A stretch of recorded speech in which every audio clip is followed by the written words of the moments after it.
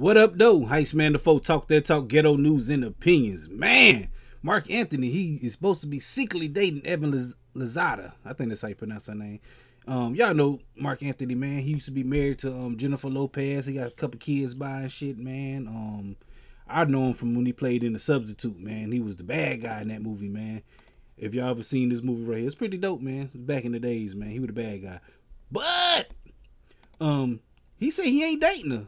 People said they seen her in this mansion and shit. I mean, she might have been there. They say she been there since August and shit.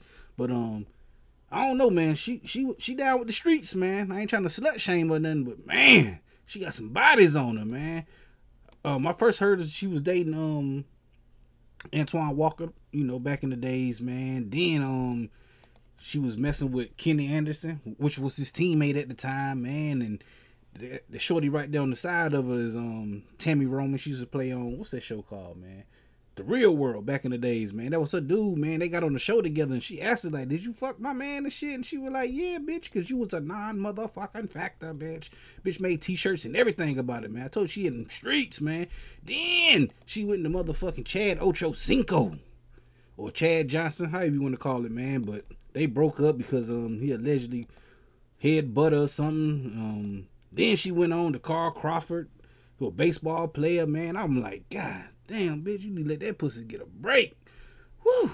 Calm that shit down, man. You was fucking everybody in the damn sports, athletes, and entertainment, man. She got bodies, man. She going to the Hall of Fame. She got some Hall of Fame pussy. I don't know, man. But like I said, man, she supposed to be dating my man's right here, man. Marc Anthony, man. Next. It's like she went from damn basketball to football to baseball I think this dude might play cricket or something, man. Um, I ain't no telling what he play, man. But he a singer, man. She she likes some expensive dick, I guess. oh my god, you gotta pay to play. But anyway, man, we're gonna be talking about this shit and more right here on this channel Friday, man. I go live every motherfucking Friday at 9 p.m. Come through and fuck with your boy. Hit the motherfucking like button, the subscribe button, the share button, the comment section the notification bell, the share. I said share button already. But hit all the buttons you got to hit to get this pimping that I'm putting out when I put it out. And like I said, I go live every motherfucking Friday at 9 p.m. Come through and fuck with your boy. Heist Man the Foe. Talk that talk. Ghetto news and opinions. Peace. I should say she a part of the streets.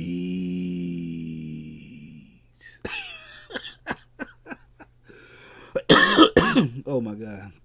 I'm going to hell, man. Fuck with your boy, Heist Man the Foe. Peace.